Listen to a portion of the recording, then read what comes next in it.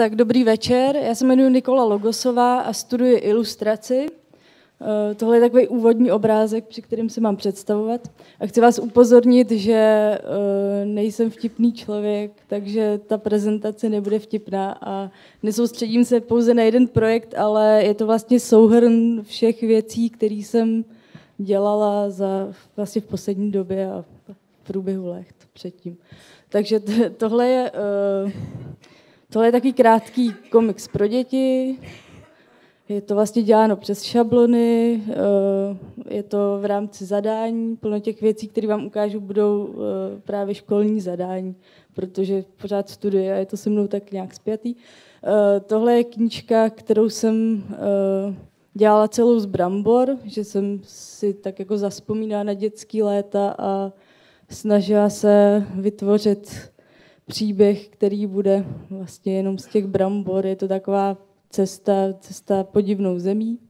Tohle je uh, pan Theodor Munčtok, což je podle románu pana Ladislava Fuxe a uh, vlastně je to jedna z prvních knížek, který jsem vůbec vytvořila, tak jsem ji jsem dala, abyste viděli i hm, to, jak jsem začínala. Nebo...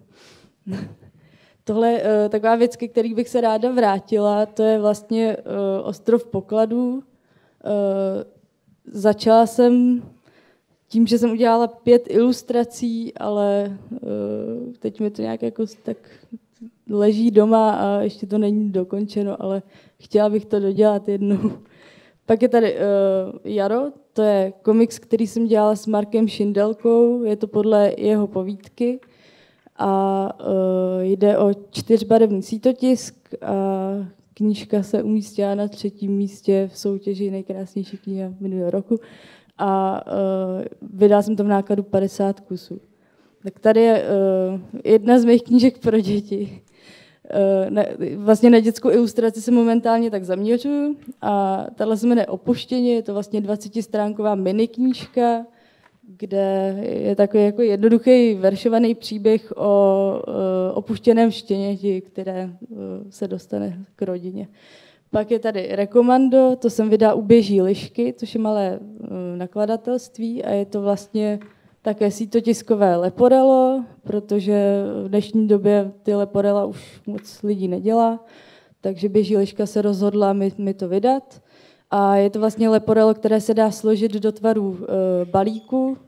A když si to pak rozložíte, tak můžete vlastně cestovat e, na přední straně e, skrz ten balík, že tam vlastně balík procestuje celý svět. A pak když to otočíte, tak tam máte takový příběh o dvou dětech, který ten balík dostanou na tábor a cestují, taky hledají poklad. Tohle je návrh na hrnky, které nakonec teda vznikly v malém počtu a v úplně jiném provedení, jak uvidíte na další stránce, protože takhle náročnou vlastně věc mm, nebylo možné realizovat barevně, takže je to jenom černobílý. A e, k tomu jsem udělala e, plagát přes šablony zase a je to vlastně tříbarevný plagát k těmhle hrnkům. Ty hrnky jsem dělala ve spolupráci s Janou Števkovou z porcelánu. A vlastně ona udělala ten podklad a já, a já ty zvířata. E, tohle je pro Českou filharmonii. To je vlastně taková jedna z větších věcí, které jsem dělala úplně v té poslední době. A je to vlastně pro e, vzdělávací programy, pro edukativní brožurku pro děti. Tohle je taky, taky z toho a oni si pak vzali různé ty prvky a používají ještě jako na, na jiné materiály. A je to taky taková jako hravá věc. Ono, úplno těch úplno věcí, který, který dělám, není potřeba žádný komentář, jo? že by to mělo mluvit samo za sebe, jak je to v těch knížkách, takže to není, to nevím moc, co k tomu říct.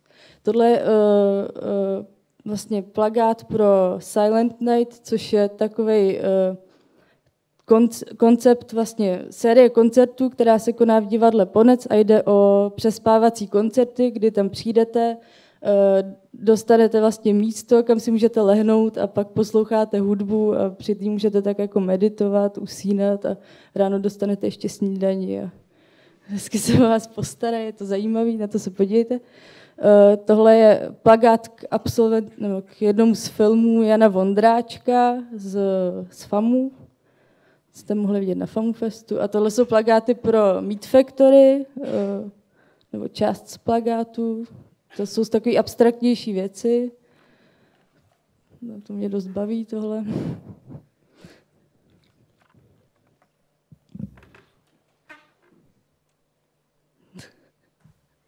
Jo, tohle je uh, obrázek z komiksu, který, nebo z obrazové knihy, kterou vydám minulý, uh, příš, pardon, příští rok a jmenuje se, jmenuje se Tramvaj 22 a je to vlastně o tom, co se honí v hlavách cestujícím tramvaje číslo 22 všichni máme tu trasu rádi, takže nás to třeba může nějak zajímat.